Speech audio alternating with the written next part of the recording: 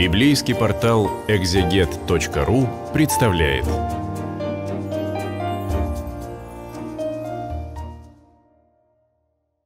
Двадцать седьмая глава книги Иисуса сына Сирахова.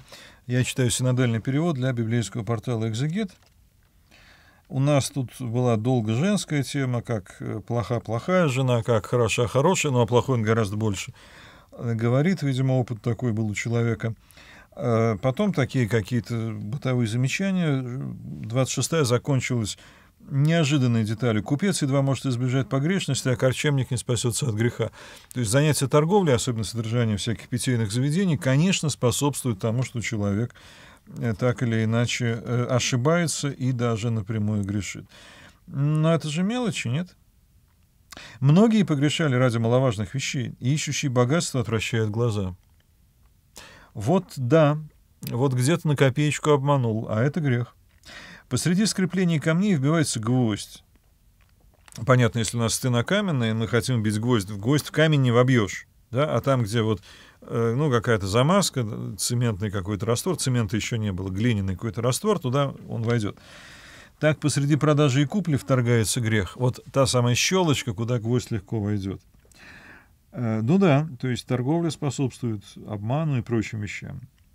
Если кто не удерживается тщательно в страхе Господнем, то скоро разорится дом его. Но отсюда вывод, да, что э, это все не на прибыль э, работает. И дальше такие маленькие детали про разного рода грехи. При трясении решета остается ссор.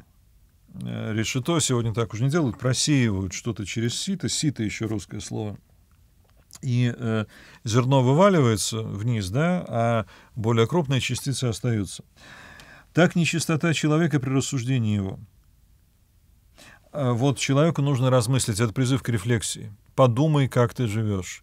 Протряси зерно, останется сорт, ты его выкинешь потом. И будет зерно чистым. Глиняные сосуды испытываются в печи ну, обжигаются, проще говоря, а испытание человека в разговоре его. Вот поговорил с человеком, становится понятно, до этого он как бы глина, а тут он уже горшок. Уход за деревом открывается в плоде его, так и в слове помышления сердца человеческого. А слово есть, собственно говоря, плод, очевидный людям. Прежде беседы не хвали человека, ибо она есть испытание людей. Поговори сначала, потом будешь знать, кто он. Если ты усердно будешь искать правды, то найдешь ее и облечешься ею, как подиром славы. Подира — одеяние шикарное. Птицы слетаются к подобным себе, и истина обращается к тем, которые упражняются в ней. Как лев подстерегает добычу, так и грехи, делающих неправду. Такие вот э, вроде бы не связанные с между собой обречения, э, изречения, но смысл общий их примерно одинаков, подобное тянется к подобному — Беседа благочестивого всегда мудрость, а безумно изменяется, как луна. Интересно, лунатик, да, тоже разновидность э, такого заболевания психического. И луна же каждую ночь чуть-чуть другая. Вот безумный э, под воздействием фаз луны или сам по себе тоже все время другой. Среди неразумных не трать времени, а проводи его постоянно среди благоразумных. Ну, с кем поведешься, от того и наберешься, да, и об этом уже было несколько изречений. Беседа глупых отвратительная, и смех их в забаве грехом. Да, бывает так, что смех — это забава грехом. Пустословие много клянущихся поднимет волосы дыбом, а спор их заткнет уши. А много клянущихся, об этом был отдельный целый эпизод, несколько глав назад, э, как это плохо. Ну, потому что если они много клянутся, значит, они, э, когда без клятвы, то вообще за своими словами не следят совершенно. Клятва их способ сказать, ну, это я всерьез. Ссора надменных — кровопролитие, и брань их несносно для слуха. Ссора, которая ведет к кровопролитию. Вот это все лишнее. Э, здесь такая немножко сборная глава, все чуть-чуть э, так вот, как попало, расположено. Такое бывает в книгах. При мудрости, э, по крайней мере, мы не понимаем логики. Можно ее попытаться найти. Ну ладно, ссора надменных кровопролития. А дальше, открывающий тайны потерял доверие и не найдет друга по душе своей. То есть э, болтать о чужих секретах — это практически то же самое, что ссориться с надменными. Люби друга и будь верен ему, а если откроешь тайны его, не гонись больше за ним.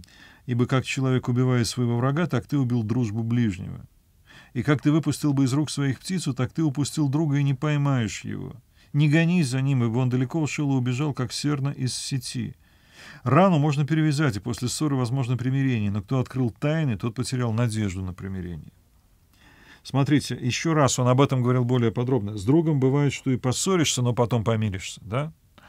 А вот открывать его тайну — это навсегда, это отвращает его. И понятно, это простая предосторожность. А человек, который раскрыл тайну, его нельзя допускать к другим тайнам. А друг — это тот, кому ты доверяешь свои тайны, тот, кого ты допускаешь к себе близко. И, и если ты вдруг увидел, что он причинил себе зло, вот э, вблизи от себя, то, конечно, ты больше не допустишь. Кто мигает глазом, тот строит козни, и никто не удержит его от того. Перед глазами твоими он будет говорить сладко и будет удивляться словам твоим, а после извратит уста свои, в глазах твоих от, откроет соблазн. Многое я ненавижу, но не столько, как его, и Господь возненавидит его. Вот э, опять-таки здесь даже не о друге, а вообще о человеке, который мигает глазом, то есть подмигивает, подает какие-то сигналы. Но это мы так в скобках, в кавычках имеем в виду, да? Такой жест сегодня принятый, кавычки человек ставит. Э, а после все извратит, откроет соблазн. Ой, да, часто бывает, что что-то скажешь, а потом человек это так перевернет, что даже вот не узнаешь собственных слов. Это уже не только про друга, это вообще. Кто бросает камень вверх, бросает его на свою голову, и коварный удар разделит раны. Ну, понятно, э, если взять и бросить камень, он потом на тебя упадет. Зачем человек это делает?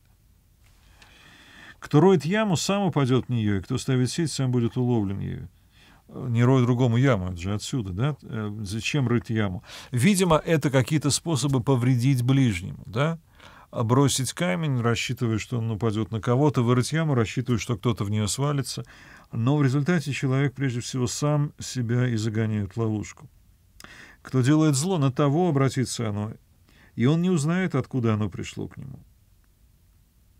Посмеяние поношение от гордых и мщение, как лев, подстерегут его — уловлены будут сетью, радующиеся о падении благочестивых, и скорбь измождит их прежде смерти их.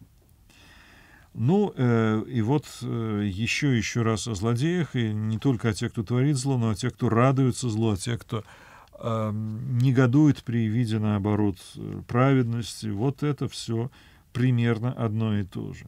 Значит, отношение человека, оно влияет на его судьбу в не меньшей степени, чем его собственные поступки. Злоба и гнев тоже мерзости, ему уж грешный будет обладаем ими. Это такой вывод из всех этих изречений. Ну, тема э, недолжного отношения, она будет развита в 28 главе.